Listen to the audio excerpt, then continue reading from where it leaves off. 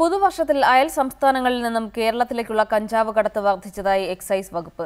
മലപ്പുറം ജില്ലയിൽ മാത്രം ആദ്യ രണ്ടാഴ്ചകളിൽ പിടിയിലായത് ഒരു ഡസൺ കഞ്ചാവ് വിൽപ്പനക്കാരാണെന്നും അന്വേഷണ സംഘം പറഞ്ഞു.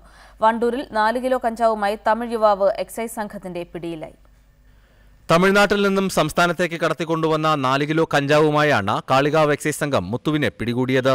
തമിഴ്നാട് ഡിണ്ടിഗൽ ജില്ലയിലെ പന്തൈപ്പട്ടി സ്വദേശിയാണ് മുത്തു. ഇയാളെ ആറുമാസം മുമ്പ് നാല് കിലോ കഞ്ചാവുമായി മഞ്ചേരി എക്സൈസ് സംഘം പിടികൂടിയിരുന്നു. മൂന്ന് മാസത്തെ റിമാൻഡിന് ശേഷം പുറത്തിറങ്ങിയ മുത്തു വീണ്ടും കഞ്ചാവ് വിൽപ്പനയിൽ സജീവമായി. രണ്ട് കിലോയുടെ രണ്ട് കെട്ടുകളാക്കി യാത്രാ ബാഗിലടക്കം ചെയ്താണ് കഞ്ചാവ് ഇയാൾ കൊണ്ടുവന്നത്. ബാഗിന് പുറത്ത് സുഗന്ധദ്രവ്യങ്ങൾ പൂശിയ നിലയിലായിരുന്നു. തമിഴ്നാട്ടിൽ നിന്ന് മൂവായിരത്തി അഞ്ഞൂറ് രൂപയ്ക്ക് ശേഖരിക്കുന്ന കഞ്ചാവിന് കേരളത്തിൽ ഇരുപതിനായിരം മുതൽ ഇരുപത്തി അയ്യായിരം രൂപ വരെ ലഭിക്കുമെന്ന് മുത്തു എക്സൈസ് അധികൃതരോട് സമ്മതിച്ചു.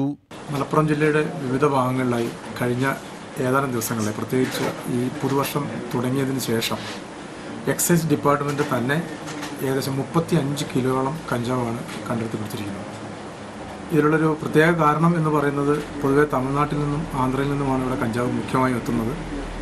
ദിണ്ടിഗൽ പൊള്ളാച്ചി മധുര പഴനി എന്നീ ഭാഗങ്ങളിൽ നിന്നാണ് കേരളത്തിലേക്ക് ഏറ്റവും കൂടുതൽ കഞ്ചാവ് വരുന്നത്. പുതുവർഷത്തിൽ ഇതര സംസ്ഥാനങ്ങളിൽ നിന്നും കേരളത്തിലേക്കുള്ള കഞ്ചാവ് ഒഴുക്ക് വൻതോതിൽ ഉയർന്നതായി എക്സൈസ് ഉദ്യോഗസ്ഥർ പറഞ്ഞു.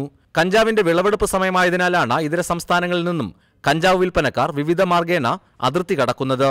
ഈ വർഷത്തെ ആദ്യ രണ്ടാഴ്ചക്കിടെ മലപ്പുറം ജില്ലയിൽ മാത്രം എക്സൈസ് അധികൃതർ പിടികൂടിയത് ചെറുതും വലുതുമായ പന്ത്രണ്ട് കഞ്ചാവ് വിൽപ്പനക്കാരെയാണ്. ഇവരിൽ നിന്ന് മുപ്പത്തി കിലോയോളം കഞ്ചാവും പിടിച്ചെടുത്തു.